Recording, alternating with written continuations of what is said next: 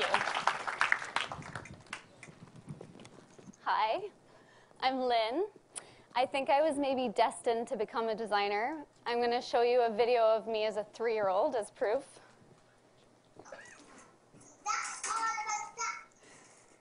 Okay, can we look at the picture over there now? I decided about the picture.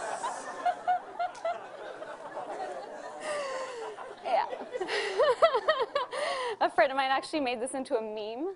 I, I will always regret making this public, but I love it.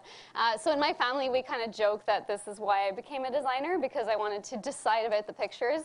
Um, and they were all Teenage Mutant Ninja Turtles. That was the only thing I wanted to draw. um, so I'm going to talk to you a bit about my path since then to now, uh, being a, a so-called service design expert.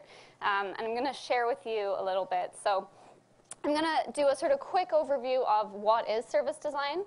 I'm going to talk about my path, and then I'm going to share some lessons learned as well. So how many people have heard of service design?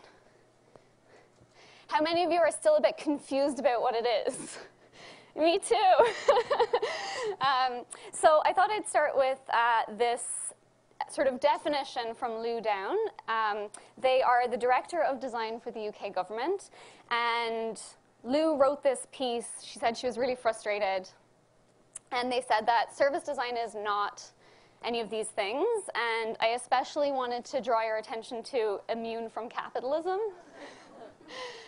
Sometimes people think that service design is sort of very altruistic or kind of, you know, designed for social innovation. But unfortunately, it does operate within all the kind of same constraints that you deal with um, and is sort of not immune from capitalism. It's also not a new word for UX. And it can seem kind of simple or like a bit of a tautology, but it's actually just the design of services. So a couple of mindsets that are really important for service design. Uh, it's about thinking holistically across the whole journey someone goes through to get something done. So that happens over time and then also across lots of different channels. So not only the kind of digital pieces, but also the call center or the store or the retail experience. And that's part of what I really like. The scope sort of zooms out and looks a bit more holistically across the things people are doing. It's also about thinking from front to back of a service, so internal and external. So thinking about all the things that happen front stage that the user or customer actually sees, and then all of the things that happen backstage to make that possible. So all of the internal processes, what are the staff doing, what are the policies, and that's also kind of fun because you get to take this kind of um, double-edged lens in a way. And then this idea of being able to zoom in to specific moments or touch points of a service, as well as being able to zoom out and think about the whole service end to end in aggregate. Uh, so people are often curious about like what are the skills? Because there's a lot of overlap with digital product design UX and this is my list of what I look for if I'm you know hiring or that I kind of think are really important in service design work. Um, and there's a couple I want to draw your attention to. So Service prototyping means you got to get good at not just prototyping digitally, but also thinking about how do I prototype the interaction that happens in person? You know, how do we role play a call center interaction or a script? Um, how do we think about prototyping physical space? The other one that's really important is workshop design and facilitation. So often as a service designer, you're really facilitating a process with lots and lots of different people, lots and lots of different stakeholders. So you have to get really, really good at designing sessions that are going to kind of get you what you need, uh, as well as making people feel comfortable and kind of facilitating them through. So I thought I'd bring this to life and kind of share a UX project I've worked on and then contrasted a little bit with a service design one. Um, so this was the online account redesign for the public library.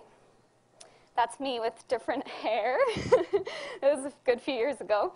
Um, but in this project, I was working with a visual designer, uh, with developers, and we were making the Toronto Public Library online account system responsive and trying to kind of make it more modern, mobile friendly. So I was in charge of a lot of the typical things you're probably familiar with, information architecture, wireframing, usability testing, and the goal was really to design and launch this digital uh, experience. So in contrast, a service design project example uh, is redesigning the application process for a charitable fund. So a charitable fund came to us. Uh, I was working at a company called Usability Matters at the time, and they said, we're having a lot of trouble with our application process. Um, it's not great for our clients, and it's also not great for our staff. And so this project was really about mapping that experience is what you'll see all the you know, traditional post-its and all the rest, really thinking about what's happening backstage for the staff as well as what are the clients going through, and then finding places we could intervene in that process and redesigning them. So there was actually no digital channels or touch points involved in this at all, and the main design work was redesigning the form and redesigning some of the back office processes that people were doing. So I think it's really important to note that it's not really about any one design discipline being better than the other. And often when I sort of talk about service design to people, they're like maybe feeling threatened or kind of, you know, that's something that feels aspirational. But it's really just about the type of work that you enjoy the most and that you can contribute most to. So we need designers in all of the disciplines and in all of the spaces. Um, it's figuring out like where do you want to work, what kind of work are you good at, and what kind of work do you want to do. Okay, so I tried to condense kind of like 10 years of a career into this slide. Um, and kind of talk you through some of the ups and downs, the kind of highs and lows that I've had. So I also graduated out into a recession. I uh, studied industrial design in Dublin, in Ireland, um, and then I came out into a recession and it was just brutal. I couldn't find work, it was super hard. So when I finally got jobs in UX, I was so excited. I was getting to be a designer, I was learning a lot, that was super awesome. But I still always kind of had this hankering to do service design. Um, and I was always trying to push and like find ways to do that type of work, even when I was working in UX. And so when I finally got there and got a job as a service designer and was doing explicitly framed service design projects, that was super awesome. But after about 10 years of doing this, I really burned out and I was just not feeling super inspired. I'd kind of reached, I'd climbed the service design mountain and I was like, oh, I got here and I don't even know if this is what I want. Um, so now I'm kind of on the upswing again of trying to figure it out and figure out what's next. And I thought I would share a couple of the things that I did that enabled me to transition from that kind of high of working in UX to the next high of doing service design explicitly. Um, and I wanted to note that my transition was really gradual and it took years. And I would say that it's even still ongoing. It sort of wasn't like I just woke up one day and was like, I'm going to be a service designer now. Um, and I know that that's a question a lot of people have, like, how do I transition? What does that look like? So I'm going to share a few things that helped me. The first one was really immersing myself in the language and material of service design. So like watching every video I could from every service design conference online. I still do that today.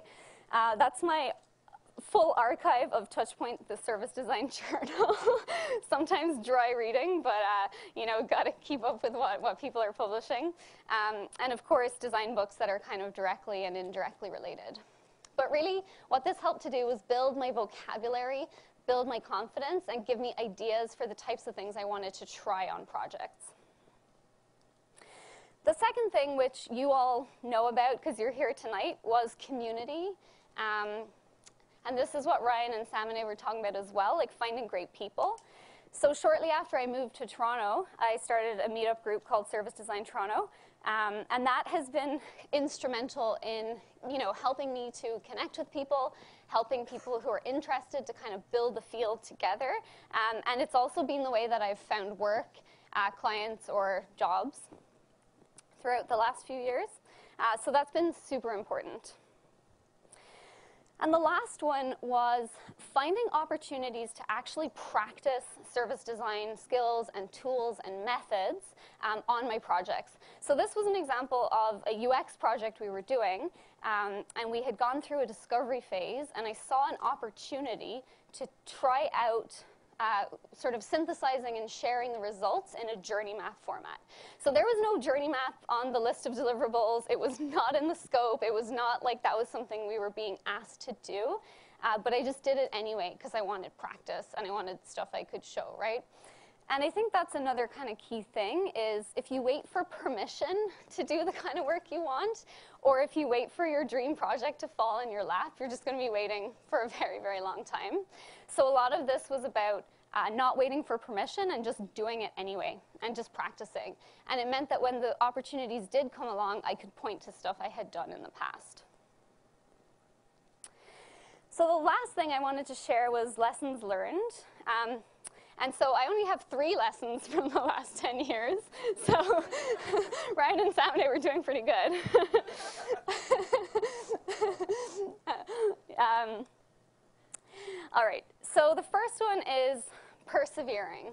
Um, and I remember really vividly, and I think about this quite a lot, a conversation that I had with a friend of mine in Dublin.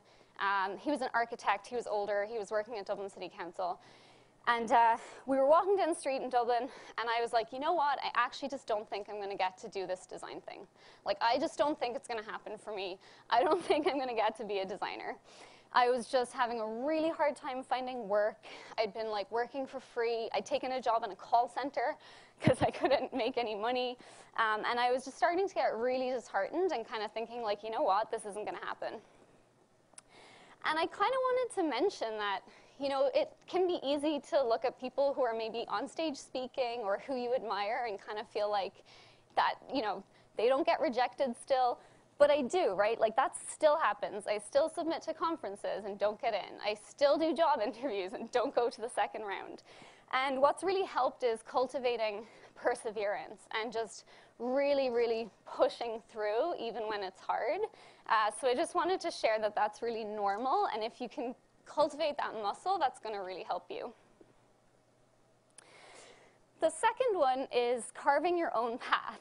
So I remember when I had moved to Toronto, I was at an event and I was talking to a fairly like senior and important OCAD professor. And I was like, I'm new to Toronto. I'm going to be a service designer. And she just looked at me and she was like, what's that? and I was like, oh, I've really kind of, you know, misunderstood the, um, the sort of landscape here. My expectations were just way out of line with where people were actually at. Um, and of course, that was a little bit disheartening. But what it meant was I had to find ways to carve my own path, to build the possibility of doing service design type work, even while I was doing UX work and even while I was doing other jobs. So again, finding ways to carve your path into the work you want to do is super important. Um, and there's that Steve Jobs thing about, you know, you can only connect the dots looking backwards. And that's very, very true. But if you keep following your gut and you keep doing the type of thing you're interested in and finding opportunities, it will happen. The last one is that we're all figuring it out all the time.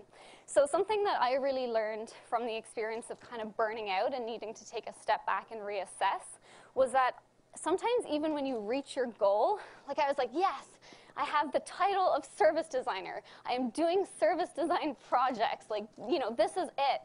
And then I realized, like, I still grapple with imposter syndrome. I still wonder if I'm really doing service design, you know? I, I still have all of these things. And so often those destinations are just actually another step on the journey, and we are all just figuring it out as we go along. Even people who, again, seem like they have it all figured out or sort of seem like they, they know how to deal with everything. So I'm really excited to support the next generation of service designers. There's lots of interest. It's so exciting to see communities like this embracing all kinds of design. If the service design bug has bitten you, these are some resources that you can start with, um, and I encourage you to check out. Um, and I'll pause for, for photos. I can tweet this out as well. Um, but that's it. Thank you.